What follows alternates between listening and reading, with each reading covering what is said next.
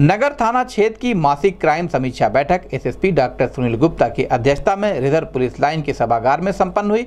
बैठक में नगर क्षेत्र में अपराध, कोरोना, लॉकडाउन, आईजीआरएस सहित अन्य बिंदुओं की समीक्षा की गई। बैठक में एसएसपी डॉक्टर सुनील गुप्ता ने कहा कि अच्छे कार्य करने वाले थानेदार को सम्मानित किया जाएगा। एसएसपी ने कहा कि सभी थानेदार अपने क्षेत्र में अपराध पर अंकुश लगाने के साथ कोरोना प्रोटोकॉल का पालन कराएँ।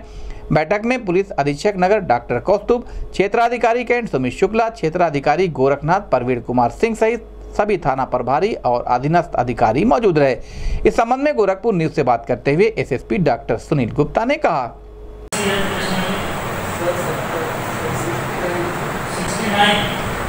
आज के लिए हमारा मार्क का है आज के सत्तर और सिक्सटी नाइन है बहत्तर है चलो ठीक है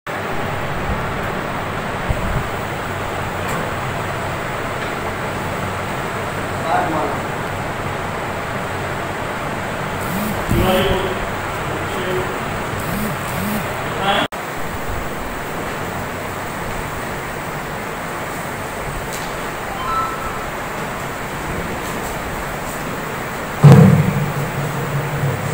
चार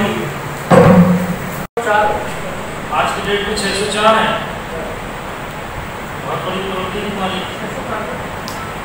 छः सौ का टारगेट दिए लिए थे छः सौ चार है। और अगले महीने में क्या कोविड टारगेट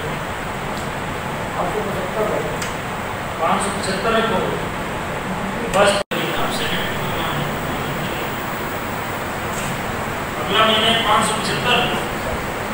आपका सालाना ग्राहक है ग्यारह सौ ग्यारह सौ के हिसाब से आइडियल क्या ये मंथली क्राइम मीटिंग की गई नगर क्षेत्र के सभी थानों की, जिसमें एसपी सिटी और सभी सीओज और सभी थानेदारों ने पार्टिसिपेट किए। और अपराध की समीक्षा, कोरोना की समीक्षा लॉकडाउन की समीक्षा, और साथ ही साथ लॉ एंड ऑर्डर जो भी जनता को सहूलियतें देनी है आईजीआरएस हम शिकायत प्रणाली की समीक्षा, सभी विषयों की समीक्षा की गई और उचित दिशा निर्देश दिए गए हैं कि लोगों को ज़्यादा से ज़्यादा डोर स्टेप तक पुलिस जाकर सुविधा और जो सहायता है उपलब्ध कराए जी हाँ सभी के अपने अपने टारगेट्स होते हैं और उनको दिया गया है कि कहाँ विवेचना में कमी है, कहीं गुणवत्ता में कमी है, कहीं कुछ कमी है और बहुत सारे थानों में अच्छा भी काम हुआ है। कुछ थानों ने अपने टारगेट्स बखूबी निभाए हैं, जैसे कि आपको पता ही अभी तिवारीपुर में भी तिवारीपुर को एस पी ने सम्मानित भी किया था क्योंकि विवेचनाओं का स्तर काफ़ी लंबित था और लॉकडाउन पीरियड में पुलिस ने बेहतर काम किया है, दोहरी ज़िम्मेदारी के साथ साथ